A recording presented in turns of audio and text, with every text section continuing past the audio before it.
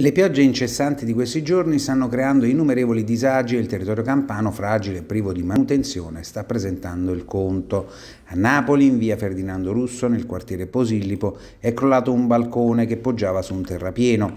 Il muro era già transennato, evidentemente frutto di sopralluoghi precedenti. I residenti parlano di crollo annunciato, per fortuna non c'è stato alcun ferito. Sull'argomento sono intervenuti il consigliere regionale di Europa Verde, Francesco Emilio Borrelli, e i consiglieri della prima municipalità municipalità del Sole che ride, Gianni Caselli e Lorenza Pascucci. Chiediamo, hanno affermato subito, verifiche sulla palazzina interessata per accertare che non abbia subito danni o problemi di staticità, oltre alla messa in sicurezza dell'intera area.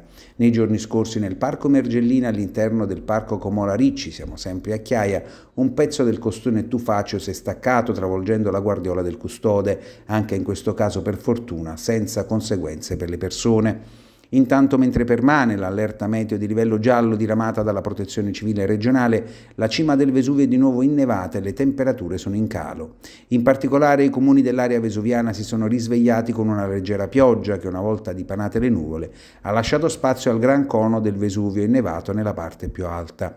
Ciò che preoccupa in queste ore è la previsione di forti venti che, abbinati a possibili mareggiate, possono provocare molti danni lungo le coste. Nei giorni scorsi, sull'isola azzurra, solo per una fatalità, una donna a bordo della sua automobile non è stata travolta da una caduta di grossi massi che si sono staccati dal costone della provinciale Capri-Anacapri.